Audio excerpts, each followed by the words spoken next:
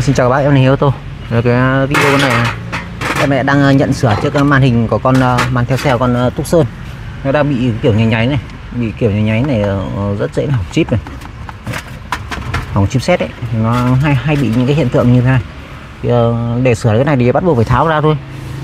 Tháo ra thì nó cũng đơn giản này.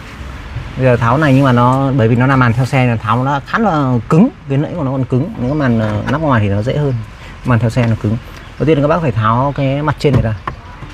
Bác cậy kiểu gì không biết nhưng mà các bác phải tháo cái mặt trên này ra. Ờ, ít nhất là các bác phải dùng cái cậy sắt này mới cậy được con này cứng lắm. Nó cờ ở chỗ này rồi nó có chỗ này nó có cái khe hở này. khe hở dễ nhất các bác ấy là cậy cậy cậy xương cậy ra ngoài. Cậy nhưng mà nên có một cái nước, nước nót ở bên ngoài. Để nó đỡ xước cái mặt này nó nó sẽ bị xước cái mặt này, nước nót nót ví dụ như là một cái tấm nhựa à, như này này nót nó vào. Cậy ra cậy ra cái cậy theo cái chiều này ra nhé cậy từ đây ra cậy dần cậy dần cậy dần. Dần kéo ra. Đấy, các bạn có thể thấy nó rất là nhiều cá bằng cá nhựa này cá nhựa nó nhựa cứng nên là nó cực kỳ cứng luôn nó không có ốc.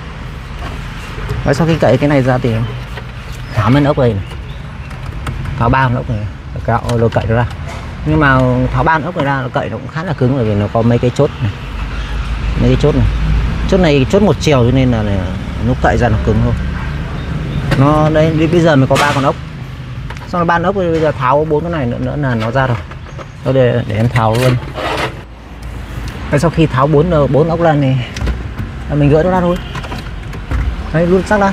Rác bây giờ có cái rác nào mình rút ra rác sau đây rút ra.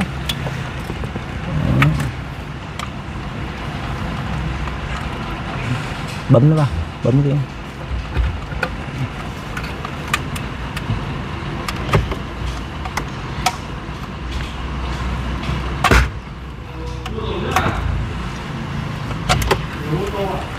đây, ok.